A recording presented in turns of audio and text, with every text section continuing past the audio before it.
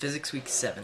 So unfortunately this week um, we weren't able to meet in class because you um, had some complications with family and um, had to pick someone up from the airport or something and um, so we weren't able to meet in class but um, I did some things out of class. Um, I sent you or I posted on my uh, ePort site three different MP3s.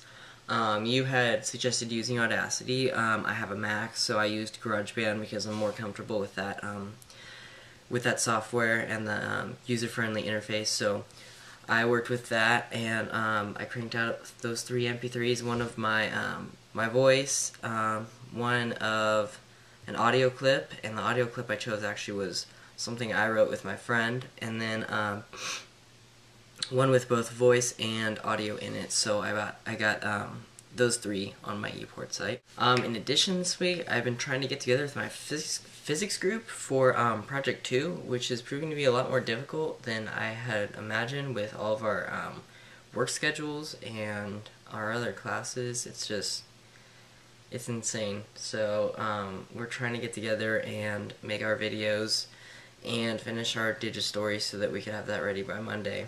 Um, what I learned this week, I learned a lot about um, I learned some things about Audacity. I'm more familiar with GarageBand, but um, I learned more about the Audacity um, format and like the interface and um, how to use different things in that software from your screencasts. It was cool to watch those because um, I like to be familiar with more than one software. Um, I'm familiar with GarageBand and Pro Tools, and then I use Audacity for um, a couple different things, not too many.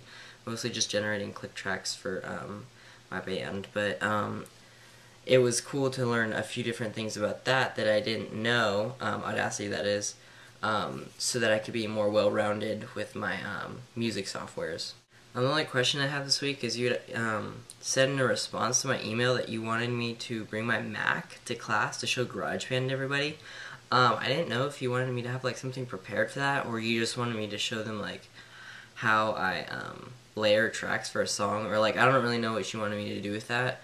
Um, I'll, I can bring my Mac, but I, I, just don't know what you want me to have like prepared on there. I mean, I guess I can just show um, one of my songs, or like a 30 second clip of like a song with eight or nine different tracks. Um, I have a few of those already on my Mac, so if that's what you meant, then perfect, because I have some of those on there. But um, I wasn't really sure what you meant by just bringing it to class and showing everybody. I didn't know what you want me to um, show them. Uh, so basically, goals for this week will be getting together with my group and finishing our Digistory and getting a little song rehearsed, which is kind of hard because Alex and I can play music, but um, the other two, and it's not it's nothing against them, they just don't really play music, so it's really hard for us to get a whole song together.